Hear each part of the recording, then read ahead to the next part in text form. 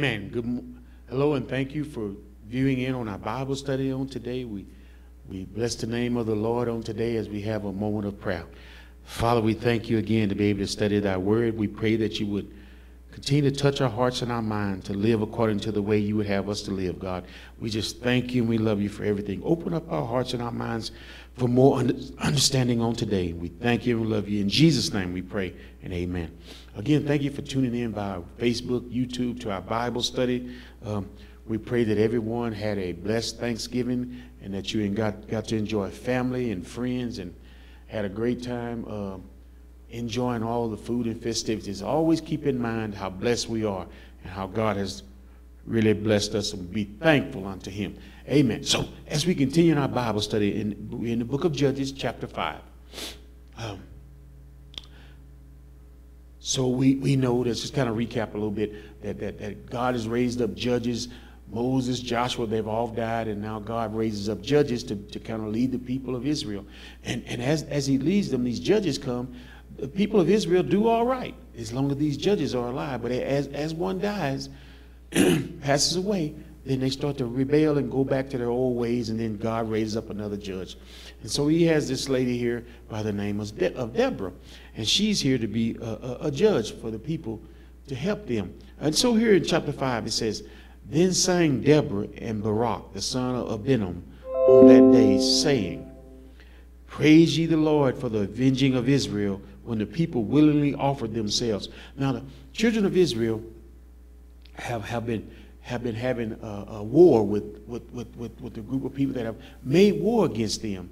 And because God was on their side, and because God intervened on their behalf, they were able to come out victorious. So Deborah and Barak started singing this song, and it's just a song that that uh, that uh, uh, uh, uh, that uh, all throughout Scripture you will see that when when when God would intervene on the behalf of the children of Israel, uh, uh, um, they would always sing a song of praise unto God for what He's done in their lives and how He's helped them to overcome. And my brothers and sisters, that's the way we should be. When whenever God is on our side and God has helped us become victorious in something that we're dealing with, we ought to have a praise unto God because we would know that if it had not been for the Lord on our side, what would have happened to us? So they, they, they sang this song. And, and if I can bring back to your remembrance, you remember when we were children. Uh, uh, in the Baptist church, they, they used to have what they call BTU on Sundays. And, and on those Sundays, we, we would learn to sing the songs about Pharaoh's army got drowned in the Red Sea. And, and we would sing that because the children of Israel, when, when, when, when, Moses led them out of bondage, out of, out of Egypt, and, and they got to the Red Sea, and, and, and the Red Sea divided where they could cross over. And then when Pharaoh pursued, they was in the Red Sea and the waters over, overtook them. So they always sang this song of praise, and they taught that to us that whatever you do, you ought to have a song of praise in your heart for God.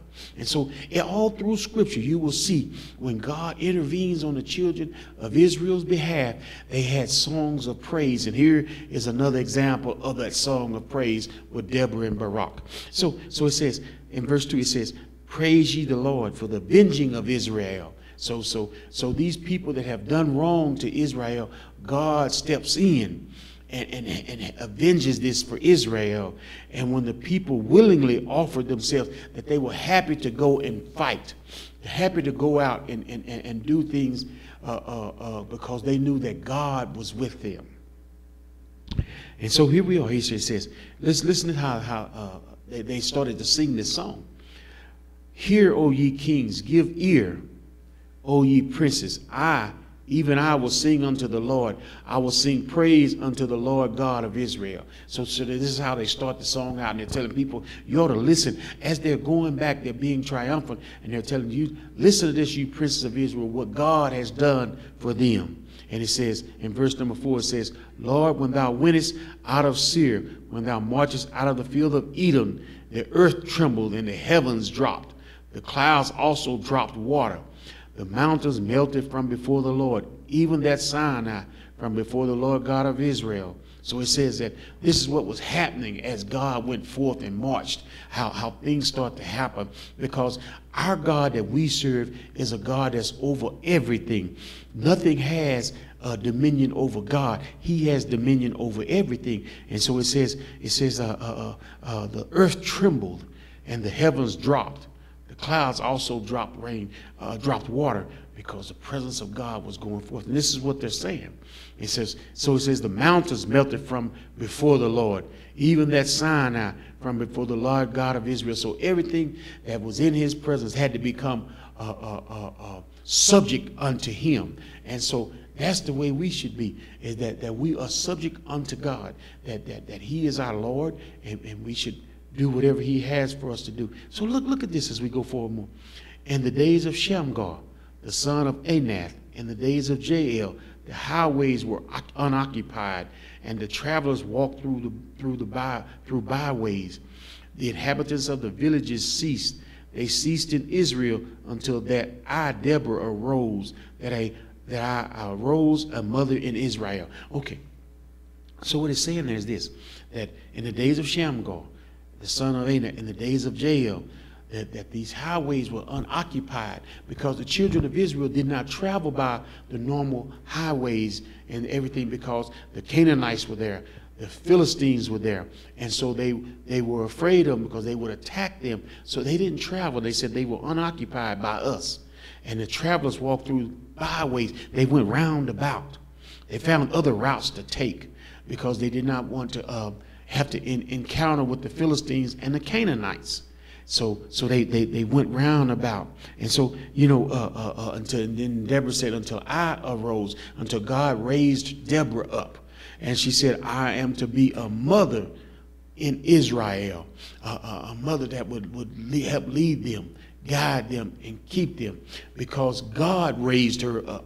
And when God raises you up, then nobody can go against what you're doing because God placed you in that position of authority. He placed Deborah here. And it says in verse number seven, and the inhabitants of the villages ceased. They ceased in Israel until that I, Deborah, arose, that I, that I arose a mother in Israel. So they, they, they didn't even want to go in the villages and they stayed away because of fear. But God brought her forth. And one thing that tells me is, my brothers and sisters, that whenever God needs his people to do something, he's going to have somebody that'll rise up and lead his people. And so as we go forward here, and, and, and the reason that, that, that the children of Israel was in this strait, the reason this was happening in verse 8 leads us into why. He says, look, look what it says here. It says, they chose new gods. This is why the children of Israel was always in trouble with God because he would bless them and then they would turn their back on God and start chasing after these uh, false gods, these idols, and every, everything like that. And so this is the reason they were in the trouble that they were in because they started doing this. It says they chose new gods, and and then was war in the in the gates. Was there a shield or spear among 40,000 in Israel? So, so, so, so, as they start to chase these other gods, things start to happen to them. See, you see, when you start going after other gods, when you start paying attention to uh, other gods, giving praise and worship to other gods, following them, you can be sure things are going to happen in your life. Things that, that probably never have happened. But things will start happening. Look what it says. Look what it says here. It just says, and they offered themselves, uh, uh, uh, it says, they chose, was there a shield or a spear among them?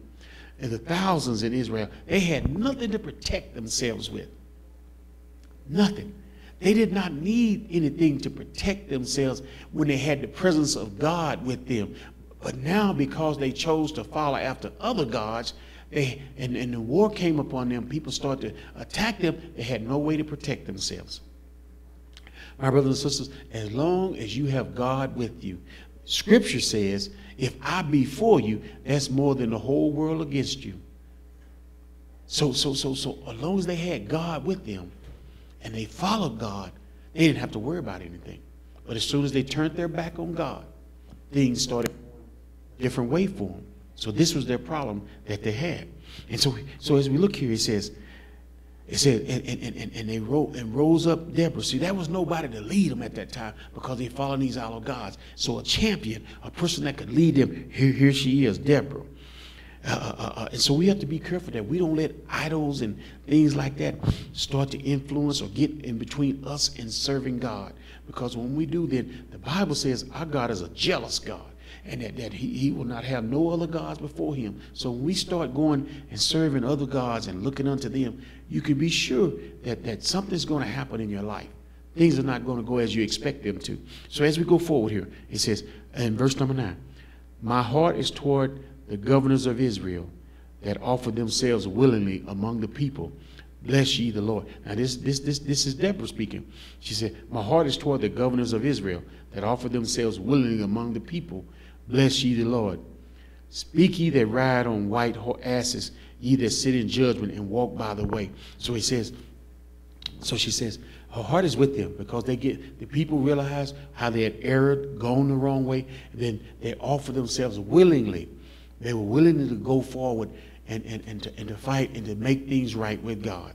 And so it says, they, verse number 11, it says, They that are delivered from the noise of archers in the places of drawing water there shall they rehearse the righteous acts of the Lord, even the righteous acts toward the inhabitants of his villages in Israel. Then shall the people of the Lord go down to the gates. So it says, so he says, so she says, she says, the people that was delivered from the archers in the place. So the, the archers are like the people arrows and, and they would shoot the, the arrows at them. And he, he delivered them from the noise of the archers in the places of drawing water, where they would go and get water, that they would come and, and, and, and, and, and would, would be able to get the water and everything and wouldn't be afraid of the archers. So they're singing this song. They're, they're, everywhere they go, they're telling people about the goodness of God and what God done for them. They didn't give credit to nothing else because they had no weapons to fight for themselves, but God fought for them. And my brothers and sisters, when God blesses us in our lives, we ought to be the same way. We ought to give him the credit we ought to tell somebody somewhere along this Christian journey, if it had not been for the Lord on my side. You see, you see, you see, everything we do is because God is on our side. When we wake up in the morning, God is on our side. As we go throughout the day, God is on our side. And we ought to be sure to tell people of that. And so this is what Deborah and, and Barak, when they're singing this song of praise unto God, everywhere they go, they're telling them, it says, uh, uh, uh, uh awake, awake. Deborah, awake, awake. Utter a song, arise, Barak, and lead thy captivity, captivity captive, thou son of Abinoam. So, so, so see, this is a song that they're singing. And it says, and so she tells Barak, she says, and you lead captivity. Now, if we look in Ephesians chapter, chapter 4 and verse number 8, we'll see there in there when, when, when, when God, when, when, when Jesus was crucified, and it said he went down into the depths of hell and he preached a revival and he led the captivities free. He brought them back. That means those that was in cap in, in captivity, he led them to freedom. When Moses went down into Egypt, the, the people, the children of Israel, it was in bondage. They were captives down there, but he led them out. And so this is a song of praise of what God can do in bringing you out of being captive. Now, my brothers and sisters. That's why we ought to, oh yeah, that's why we ought to have a song of praise in our heart. Because when, when the devil has us, when he has us bound and we're not on the Lord's side, but when we hear the word of God and that word of God brings us out of, of being a captive of the devil, we ought to have a song in our heart. We ought to have a song in our mouth that we tell everybody. I, I remember the old, old, old, old, old, old saints used to sing this song and they would say, oh yeah, they would, they would say, they said, um, if, uh, uh, uh, uh, uh, uh, uh they was singing about if, if anybody want to know who I am, just tell them I'm redeemed. See, see, all these, yeah, that used to be, that was how I used to be, but now I'm redeemed of the Lord. So, so they had this song of praise when they brought him out. And in verse number 13, it says, Then he made him that remaineth have dominion over the nobles among the people. The Lord made me have dominion over the mighty. So, so she's saying, see what the Lord done over the nobles, this woman, Deborah and, and, and, and, and, and had had a dominion over the mighty because she stood up, her and Barak, and led God's people. And when you lead God's people, God will give you a power, God will give you authority to do what He wants you to do. And they stayed true to that. And it says in verse, verse number 14 as we go forward here, it says, Out of Ephraim was there a root of them against Amalek. After thee, Benjamin, among thy people, out of Machir came down governors, out of Zebulun, they that handled the pen of the writer. And they made, these people came and they made notes of everything.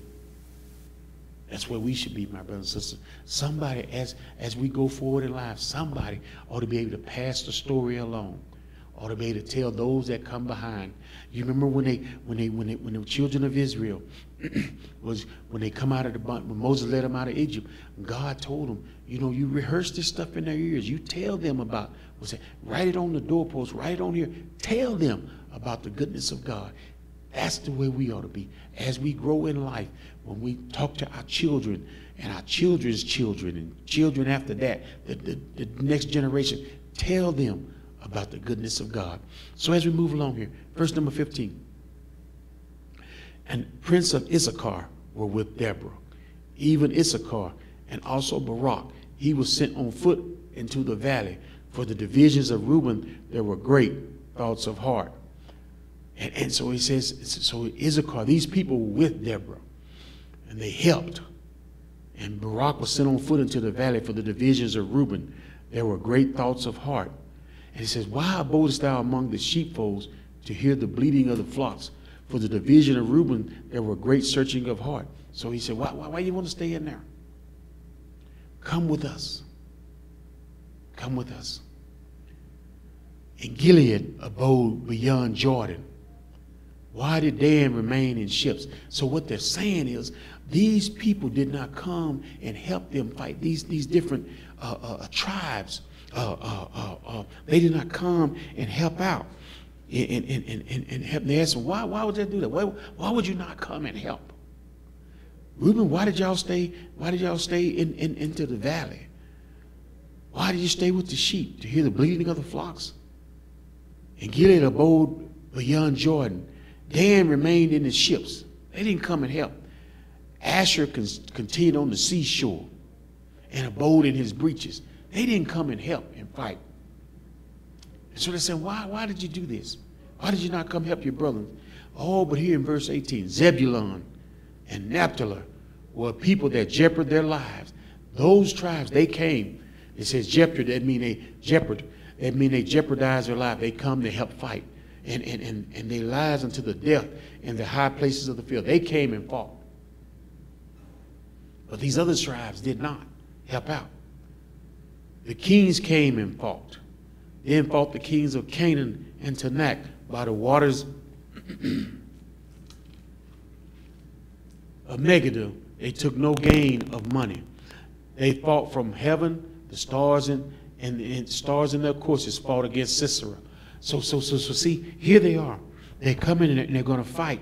And the tribes, uh, uh, uh, they sing in the middle of the song, they're talking about the, the tribes that helped them, the praise in them, and these that didn't. And, and, and, and, and, and so they, they're there and they're saying, they're saying that uh, they took no, uh, took no gain of money. And they, they fought from heaven the stars in their courses fought against it. So, so what they believe is that when the presence of God was with them and they was fighting, everything lined up perfectly for them. They say even the stars in heaven, they lined up right just for them. And that lets us know that how God has dominion over everything. Nothing has dominion over God. He's over everything. He made everything. And everything lined up just right for the, the children of Israel when they went to war. The ones they needed to fight with them, they all came everything worked out for them. Oh, my brothers and sisters, that's the way it is in our lives. When, when, when, when we get on the Lord's side, things just seem, you know, sometimes we just wonder how things just seem to fall in place for us and, and doors start opening. Things that was going on, everything starts to, to fall in place and we wonder, oh, look how the God, God can work in our lives.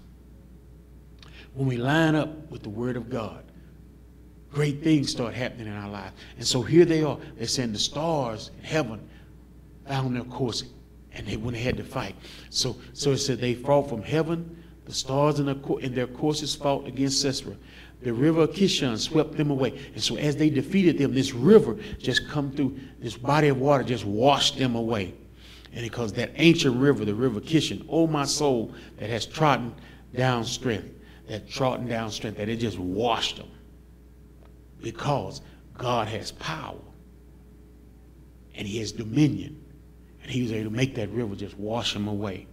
It says, Then were the horse hooves broken by the means of the prancing, the prancing of their mighty ones. So you know how they have those horses out there, they can make them prance with their feet and everything. All of that was broken because of the power of God. Because God was with Barak. God was with Deborah as they led the children of Israel. And it says, Curse you, Meroz, said the angel of the Lord. Curse you bitterly, the inhabitants thereof. Meroz. It says, the angel of the Lord said, Curse you. And when God curses something, nothing good is going to come out of it. Angel of the Lord said, Curse you. Curse you bitterly, the inhabitants thereof. So the people of there, they were cursed also because God said so. And because they came not to help. Look, look why they were cursed.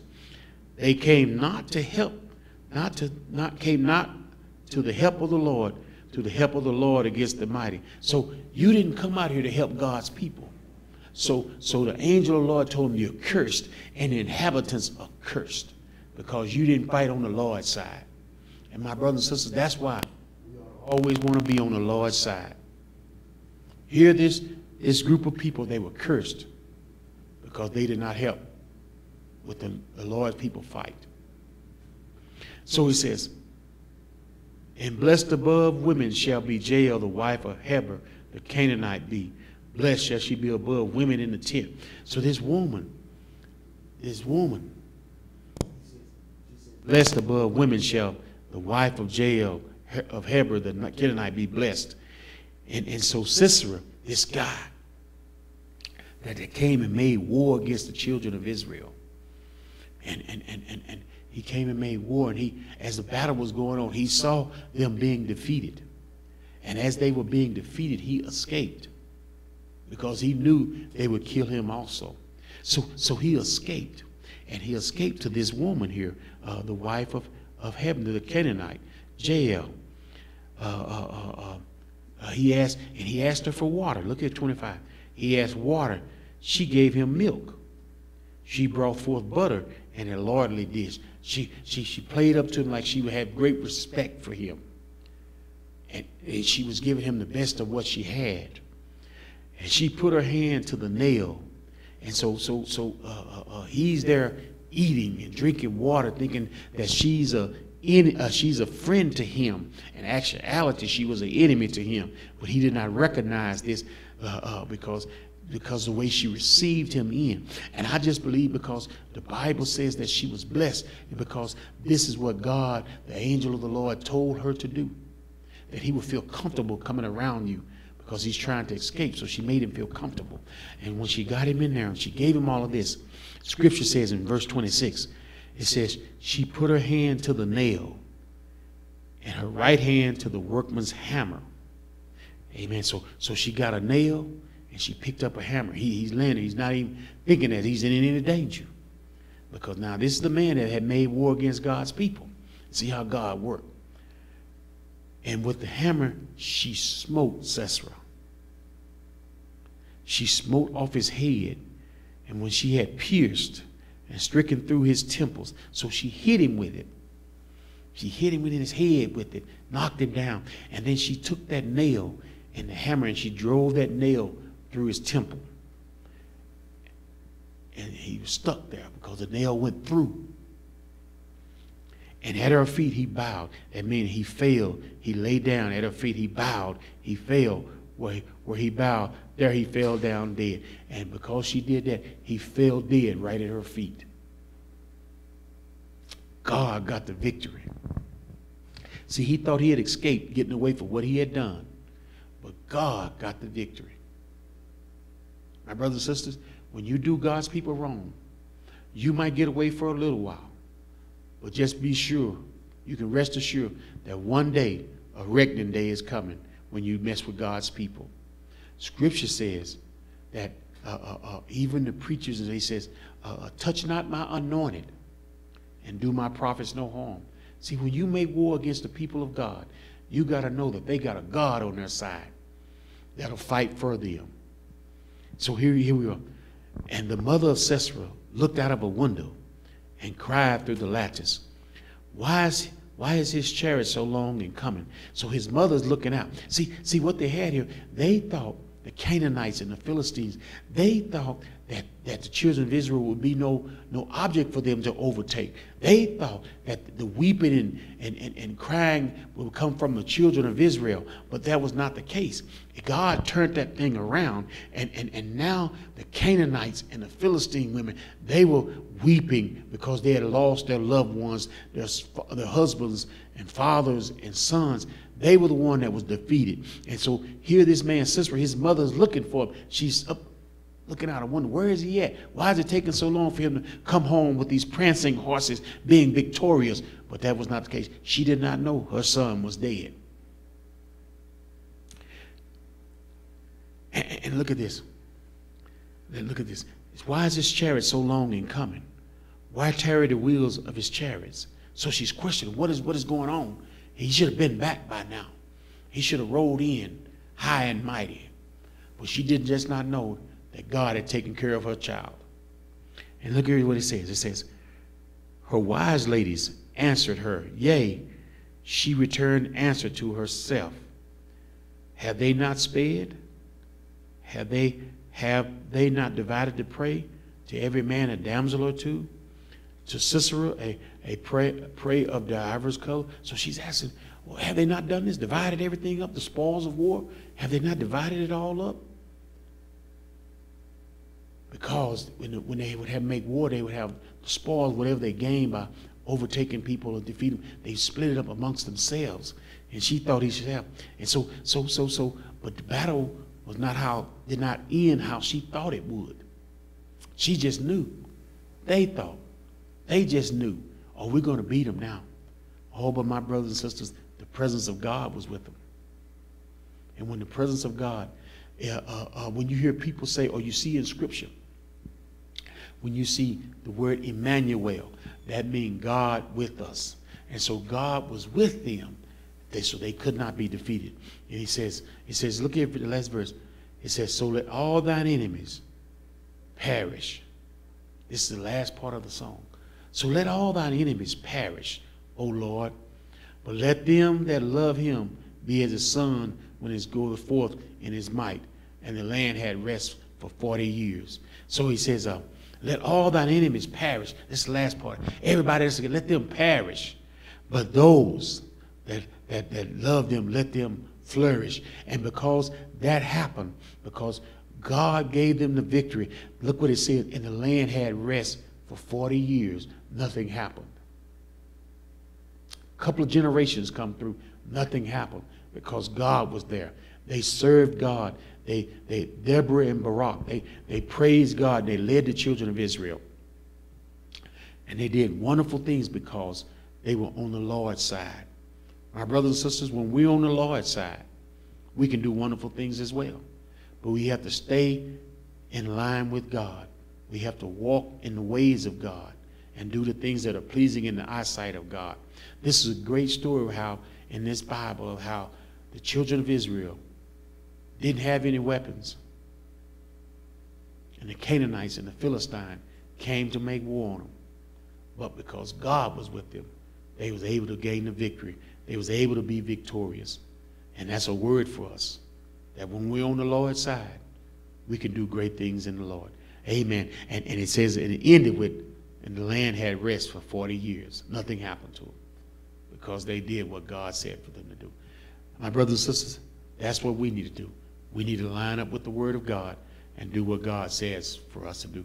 God bless you. Thank you for tuning in.